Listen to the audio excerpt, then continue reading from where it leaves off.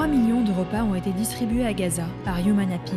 Bien plus que satisfaire leur faim, c'est un réconfort au milieu du chaos. Aujourd'hui, nous sommes déterminés à atteindre un nouvel objectif vital 5 millions de repas pour les familles en détresse. Ensemble, rendons cela possible.